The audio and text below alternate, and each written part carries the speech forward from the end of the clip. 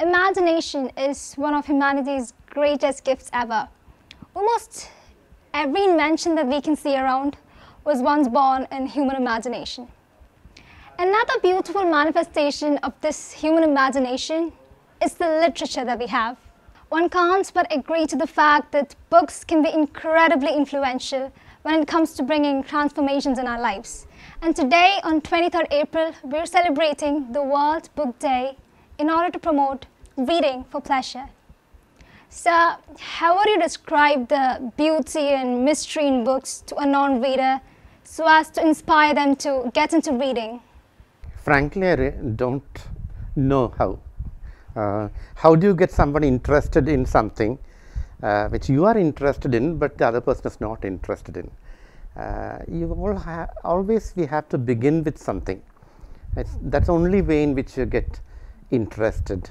Uh, you read good books or you read books that you like. That's the most important aspect of reading.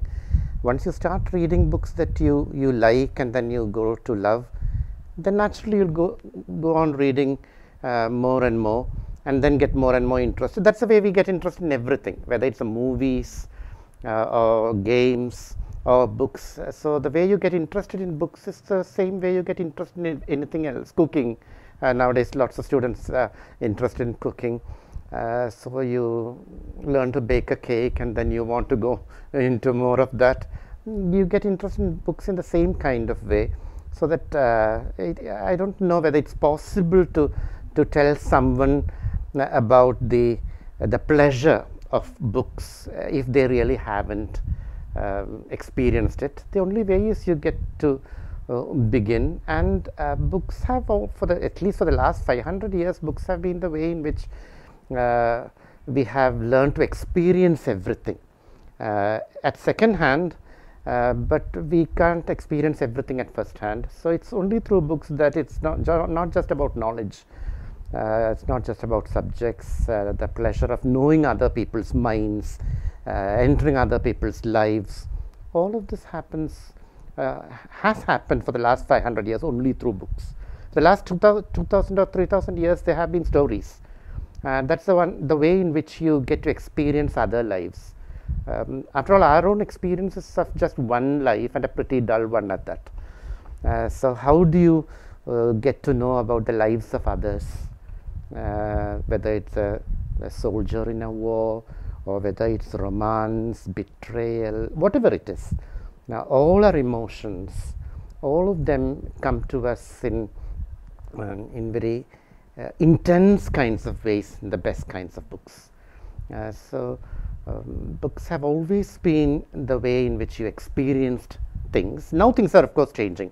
We have other kinds of uh, ways in which you can experience things uh, the movies in the 20th century made a great change, and then once the internet came, of course, there are other pathways too. But at least for the pa- past 500 years, books have been central to humans mm, in terms of culture as well as in terms of civilization. Sir, in our prescribed textbook, we don't have much about Shakespeare. So, how should we be familiar with Shakespeare? What should be our takeaway from Shakespeare? I think that depends on uh, uh, the first books that you read. Uh, that is very important. I don't think we should thrust books down anyone's throat. Uh, not, uh, never make a list of these great books that you ought to have read. No ought to here. Uh, so, if a child is interested in, in a particular um, area, if it's films, books about films, if it's sports, books about sports, the, the, uh, the first books that you read are very, very important. They should be engrossing. Uh, you should get immersed into that world. And typically, that's the way we have seen books. Books have always been seen as a way in which you enter another world. And typically, um, young children, especially when they are good readers, uh, they generally get the term we use is getting lost in books and, uh, and all readers have had that experience. Uh, a visitor comes home and this child who's reading a book never notices this visitor at all and the visitor is outraged or insulted because the child uh, didn't treat the person well because we have been lost in that book. So, typically books are a, a kind of material thing through which we enter another world. After a certain point, you completely forget your uh, environment, the atmosphere around. Uh, you enter another kind of world. So, if you get introduced to the right kind of books in the early phase, later I think uh, the readers will know how to find their own kind of books. At a later stage, there is no need for much advice, uh, no need for um, giving counsel about good books because they know how to find the good books. In the early stage, uh, getting books that are interesting, that is the most important thing, imaginative and interesting.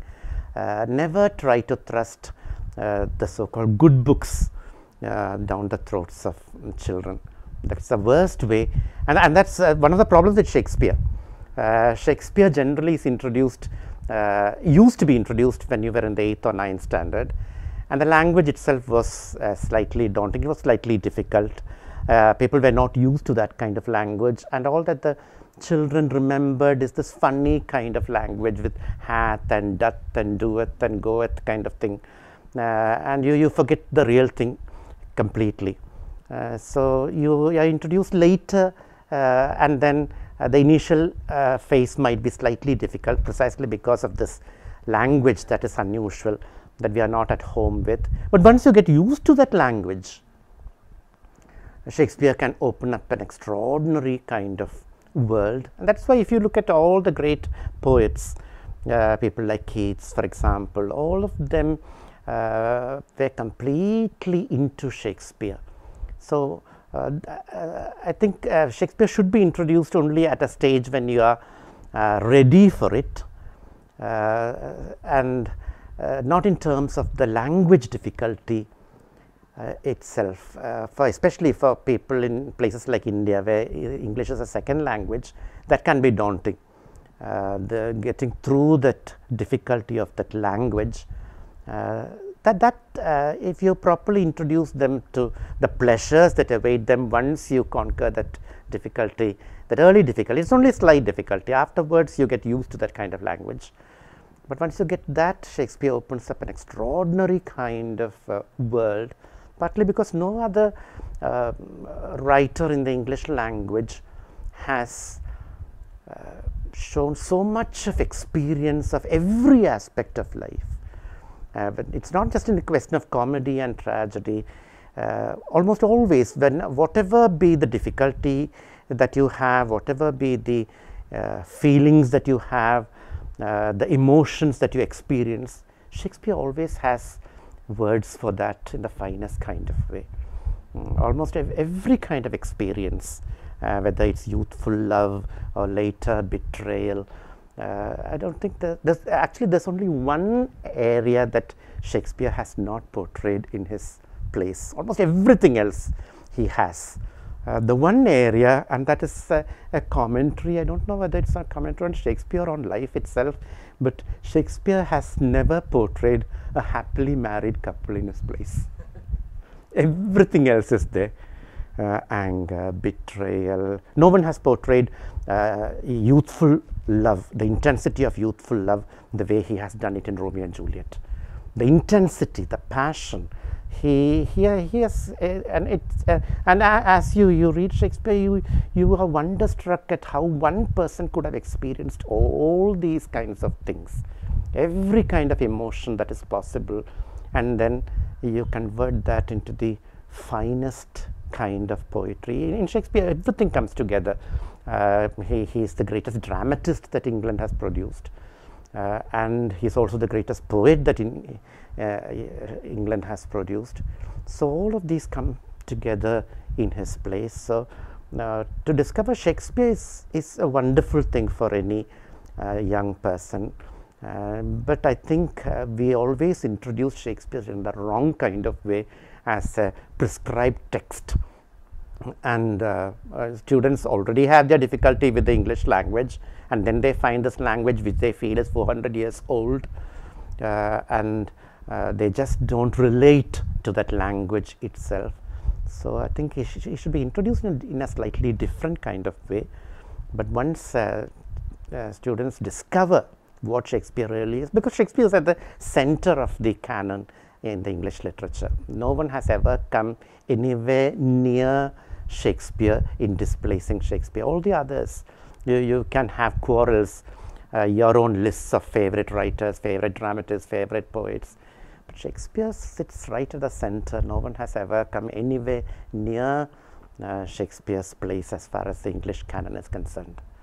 And one of the tragedies that has happened in, in, in India is that uh, in our project of decolonization, we have uh, removed Shakespeare. Shakespeare used to be a compulsory in colleges for second DC, and now that has been taken away. And Shakespeare is no longer there. And um, we tend to, I think it's, it's the wrong way to look at decolonization. Uh, that um, Shakespeare, the, the, the uh, allegation that uh, Shakespeare, we consider Shakespeare great only because Shakespeare happened to be a white Anglo-Saxon Protestant, uh, which is com- completely wrong. Uh, the, la- the language, there is a difficulty. I don't, I don't think it's obsolete because if you look at his uh, sonnets, uh, the language uh, of, a sonnet is a kind of language that anyone would write a sonnet in nowadays also. If you look at the sonnets, le- let's say by uh, 20th century poets, a lot of the, them write in possibly the same way that Shakespeare has written 400 years earlier. Uh, in his plays, of course, there is a certain kind of difficulty, and some plays, of course, are much more difficult. The early plays, for example, there is this love of wordplay, um, so that there is a difficulty with the language. Uh, in his later plays, by the time we come to the, the last place, there is this condensation of thought, so that the language is always uh, trying to say much more than it can. So there's a difficulty there. But in, in the middle place, in place like, for example, The Merchant of Venice or Julius Caesar, there is a, a lovely balance between the thought and the action and the language. And that's why, of course, these two plays are prescribed all the time The Merchant of Venice or uh, Julius Caesar, because there you have this ideal kind of balance. In his early plays, Shakespeare loves this language. So there's a great deal of wordplay involved in plays like Love's Labour's Lost. Uh, again, uh, sometimes we might feel it is indulgent. But I think uh, if you are introduce if you introduce children to the sonnets, uh, there won't be much of a difficult. I'm sure you must have learned one sonnet or the other. Shall I compare thee to a summer's day? Or let me not to the marriage of true minds admit impediments. And the language is a language that we almost speak, not not difficult at all. Once in a while, uh, there might be a problem with the word order, but once you get the hang of it, uh, there's no problem anymore. But Shakespeare is uh, somebody who uh, uh, children should be introduced to at the right age and in the right kind of way. Uh, the, the stories themselves are not a big deal. The trouble is, we give them the stories of Shakespeare, and uh, generally, some of the, especially if you take a play like Cymbeline or something, uh, stories may seem ridiculous to some of the children, full of murders, everyone killing each other and then taking revenge. Um, the, the logic is slightly bizarre sometim- sometimes. So, the stories themselves at a certain age, yes, to know what Shakespeare was about, you can introduce them to the stories, but we must also know that the stories are not the thing. It is the, uh, the thought and the language, how, uh, how uh, every emotion, every feeling, every thought has been conveyed in so perfect terms in the way that no one ever has before or since. I think um, uh, one, one of the aspects of Shakespeare is that as you grow older, you tend to uh, love Shakespeare more and more, partly because you feel that uh, that the complexity of experience is shown by Shakespeare in ways that um, young people may not be able to relate to. I think um, I think if you are an adolescent, maybe a teen, in your late teens, uh, Romeo and Juliet might be something that the children can relate to. But otherwise, uh, not being able to relate to things that that's a problem. I don't know how it can be overcome because they have to like it, uh, and primarily because they are brought up on cartoons and Marvel movies nowadays.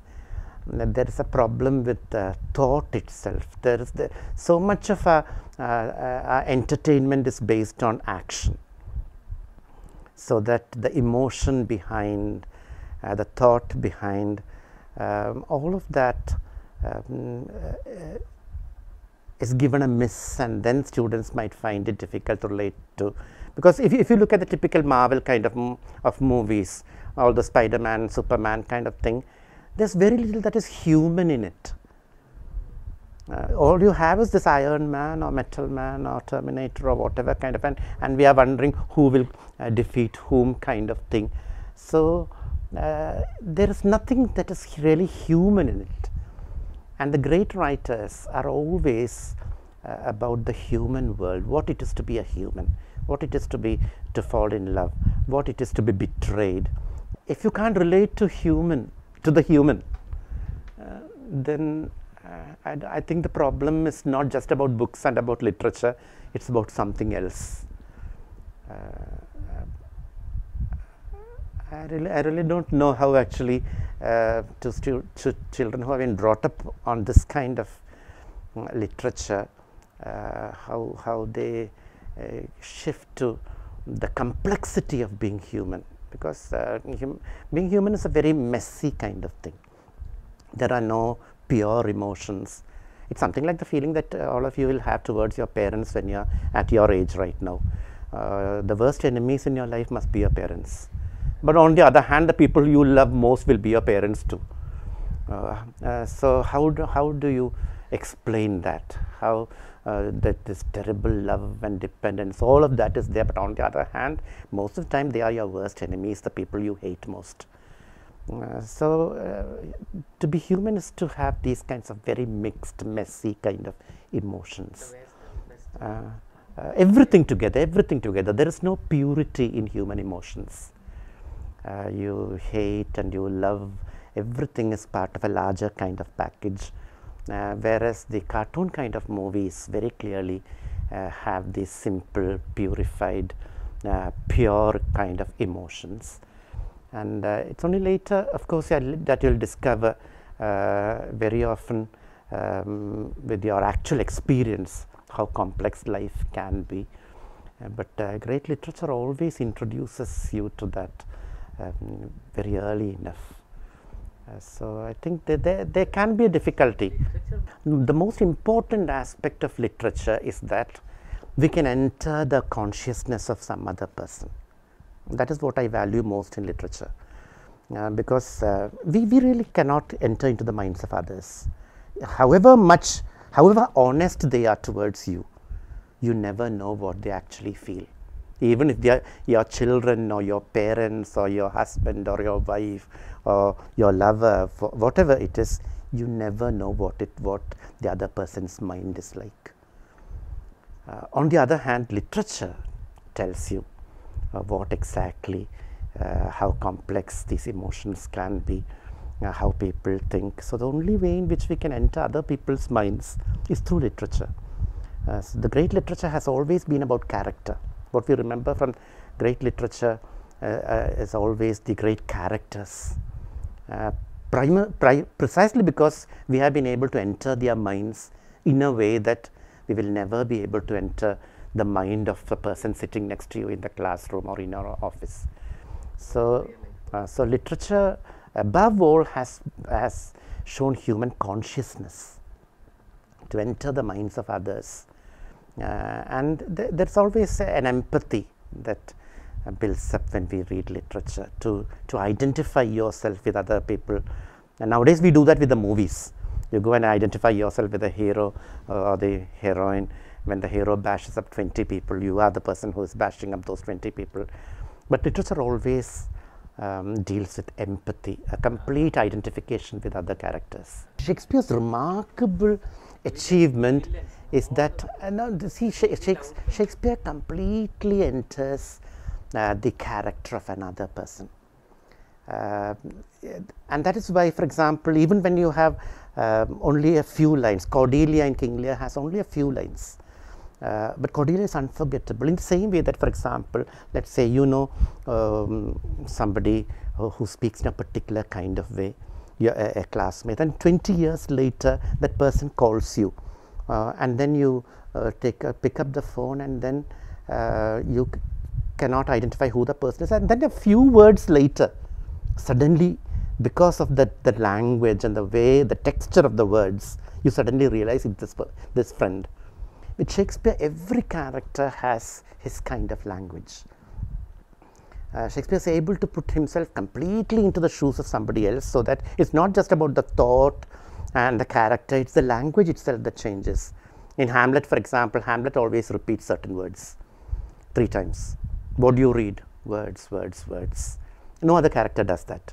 And throughout, you have this kind of this this characteristic way in which some people speak. Uh, it's, uh, he, he completely identifies himself with the character, and that is why, for example, uh, Shakespeare's has always been relevant in a way that other writers haven't been. Because what happens is in contemporary criticism, we are always reading past texts according to our present norms, especially in terms of things like feminism. Uh, and we find all the earlier writers wanting. Uh, they are not, they are too male chauvinist, they are male chauvinist pigs, kind of thing. With Shakespeare, on the other hand, uh, if you look at his heroines, Shakespeare seems to be a feminist. Uh, uh, Shylock, for example, was a villain when he was originally staged, uh, the typical Jewish money lending villain. By the 19th century, when the Jews are seen as victims of a Christian culture, you can stage the same play and make Sh- uh, Shylock the uh, tragic hero. No words are changed, nothing's changed.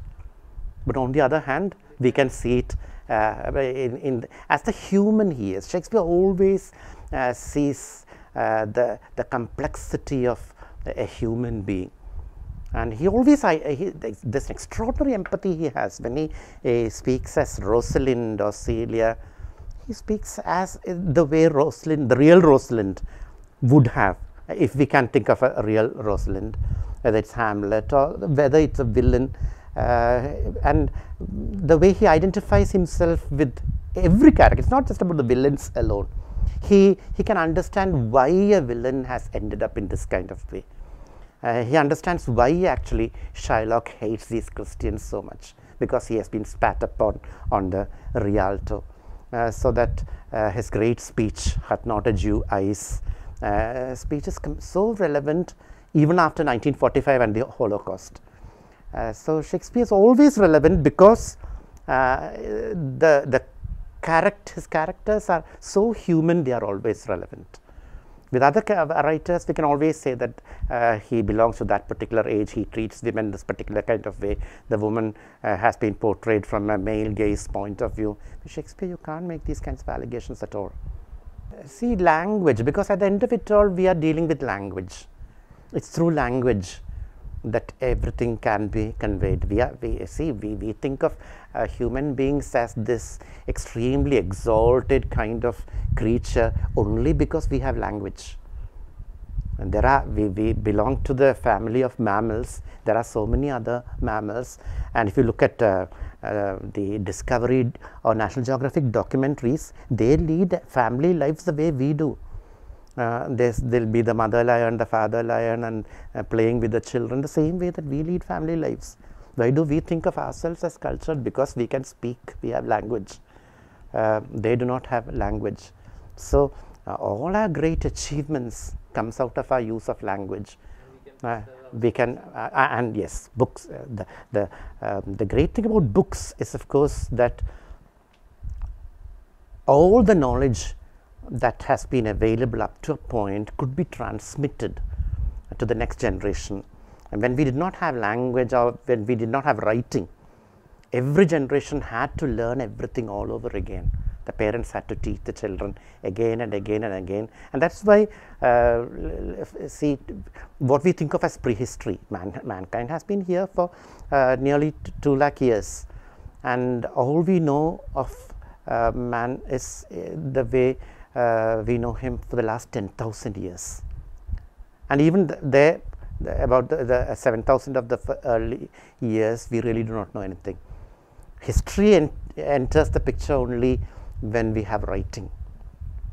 And once there was writing, uh, the collected knowledge of every generation could be passed on to the next so that the next could build upon that.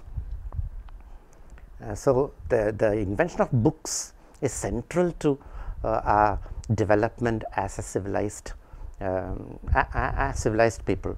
And once uh, the printed books came into the picture, about 500 years ago, can you, you, can see how actually uh, the knowledge of uh, let's say 1300 AD is the same as possibly the, the knowledge of 3rd century AD. Not much uh, took place, uh, advancement in knowledge actually took place uh, during the Christian interregnum actually. Uh, and then uh, around the 14th and 15th centuries you have printed books knowledge is democratized in an extraordinary kind of way. Books become cheap.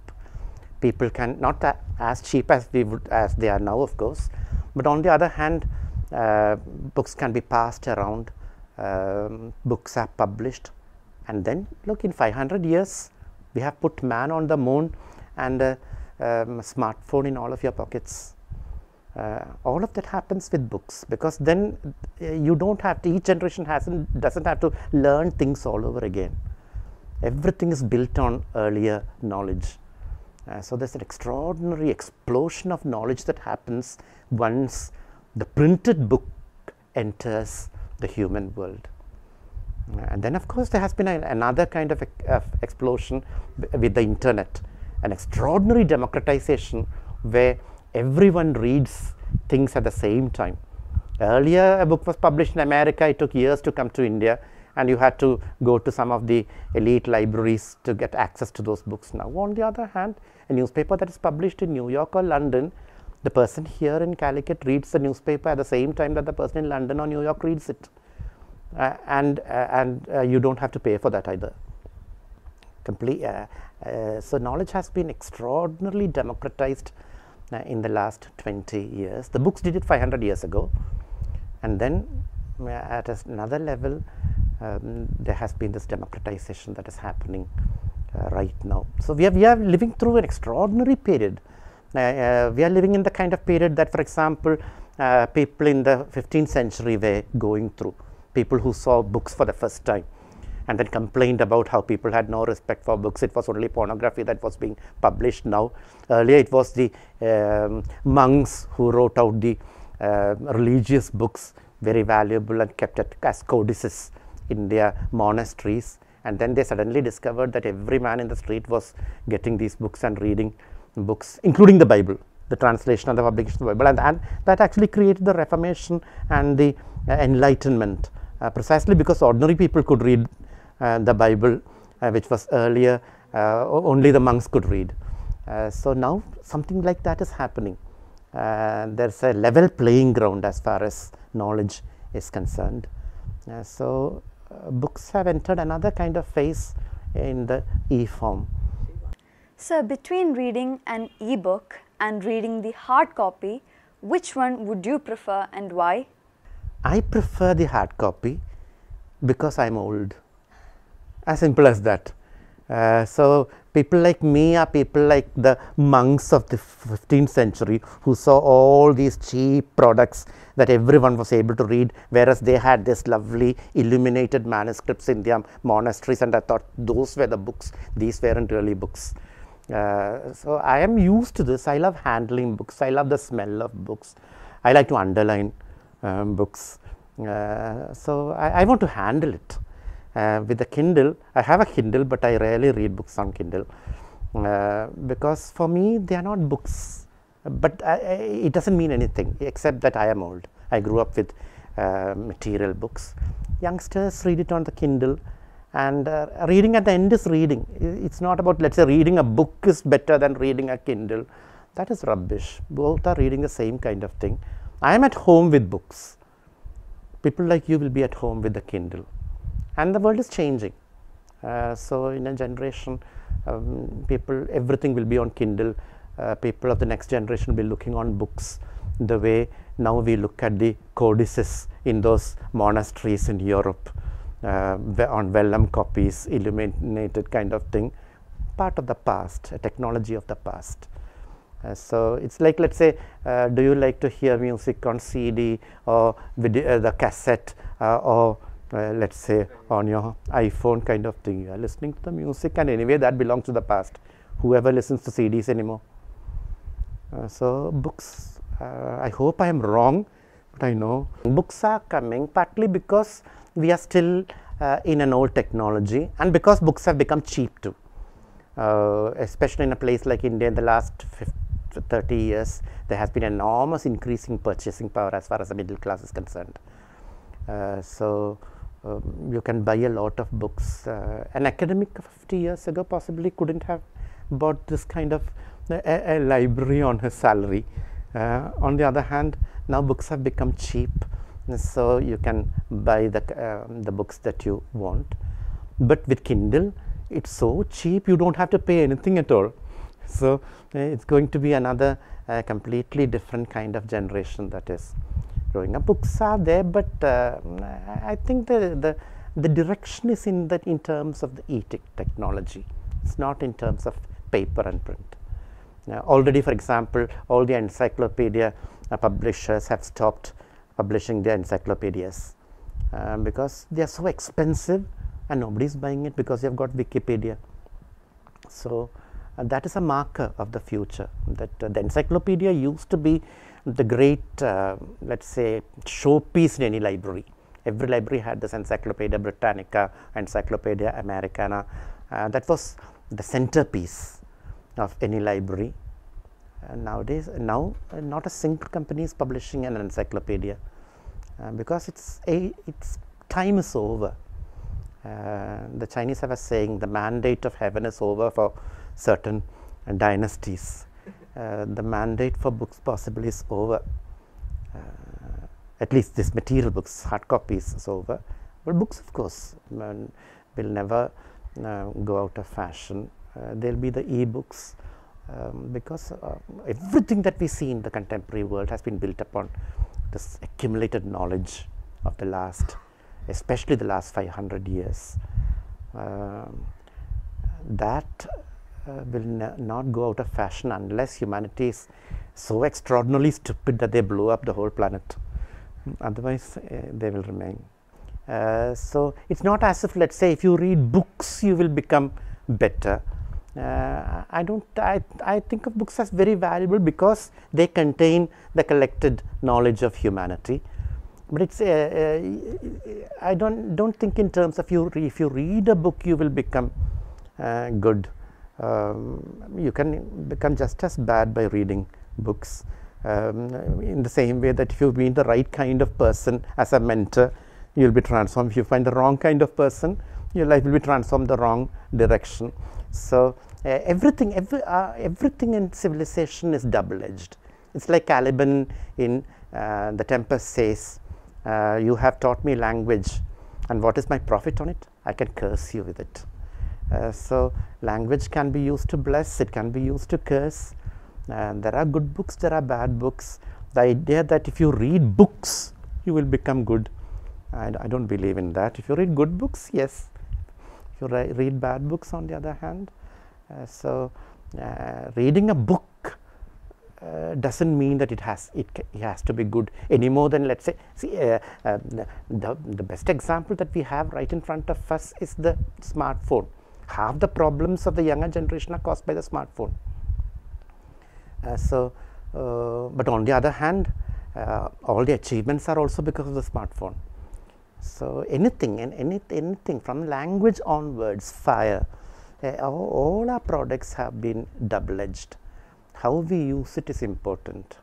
Uh, let us say when we uh, build the atom bomb, we had the same kind of problem we could destroy a planet with it. On the other hand, we could create a lot of energy, cheap energy at that. Uh, so, with uh, books, with e-books, with the internet, with the exposure, always is double-edged. When we uh, send our children out into the world, there's always a danger. But we have to do that.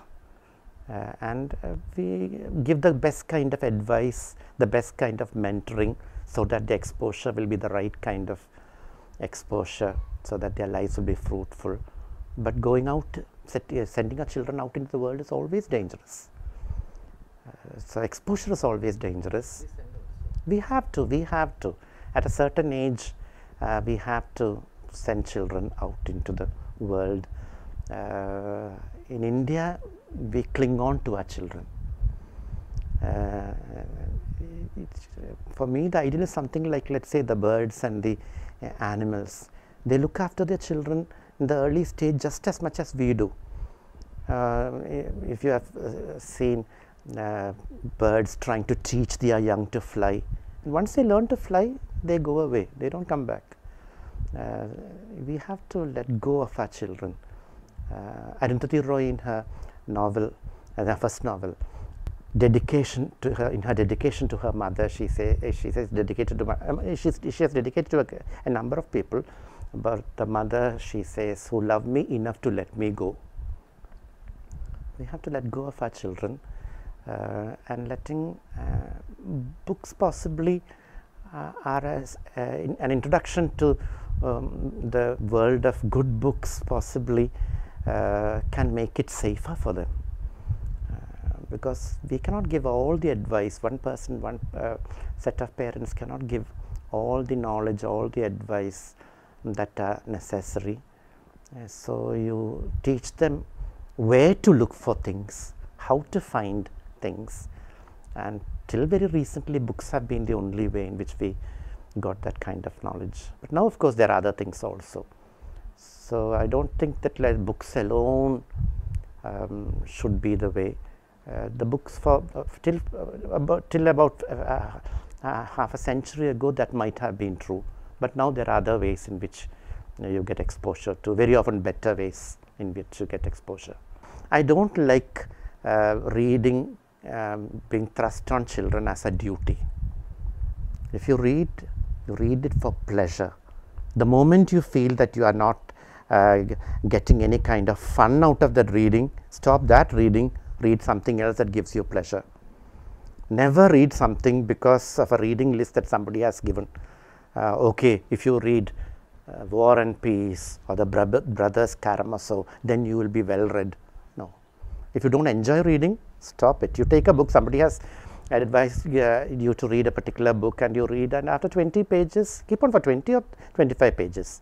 Uh, but uh, after that, if you still feel that uh, you are not enjoying it anymore, stop reading it, take something that you like and reading. Because the moment you stop re, reading is no longer a pleasure, then it doesn't serve any purpose. So, uh, Shakespeare, Shakespeare, uh, um, there are now a, a, number of movies based on uh, Shakespeare's plays. So, you see those movies and eh, some of them are use the same language of Shakespeare, but on the other hand uh, has been jazzed up for contemporary times. Uh, Baz Luhrmann's Romeo and Juliet, for example, is set in contemporary California. Uh, but the language is the blank verse of Shakespeare uh, it, with Leonardo DiCaprio. Uh, so you read that if you like that, then you go on to uh, the place itself, so that you you begin to enjoy the the the the power and the glamour of that of that blank verse too. Because the language is everything in poetry. The language is everything. A thought is uh, most of the time the thoughts that you find in poetry that you love is the kind of thoughts that you have already had. That's why let's say during moments of emotion we sing our favorite songs film songs or quote our favorite lines because somebody else has said the, has said the same thing that you have been feeling but in a way that you could never have said uh, so that language is everything and the way in which you say something. In Shakespeare, you have uh, that, the magnificence of that poetry together with emotions that you can constantly identify with uh, at almost every age. Possibly, I think uh, children will might have a problem, especially children of nowadays. But uh, from Romeo and Juliet onwards, at every stage, um, King Lear, for example, can be truly appreciated only when you are 80 when all your children have betrayed you and you feel that your complete life has been a waste because you looked after your children who have completely betrayed you and gone away. Uh, so it's only when you are you are uh, that age that you re realize the futility of having loved your children too much. Uh, so there's something for every age. But the, the remarkable thing is that Shakespeare, um, uh, by the time he was in his 50s, he had packed up his bags and left London and come, gone back to Stratford and never wrote a line again but uh, he he could uh, put himself in the uh, uh, in the mind of a, a 70 or 80 year old man so completely. 23 April is observed as World Book Day to mark the birth and death of the greatest dramatist of all times, William Shakespeare. On this day, we were indeed fortunate to spend time with Professor Nagesh, former faculty of St. Joseph's College, Devagiri, Kozhikode, in his house that qualifies as a house of books, filled with books in stacks and piles and shelves all around us. Let us savor the smell, the taste, the power, the promise, and the beauty of these books till it is time to turn the page. Thank you.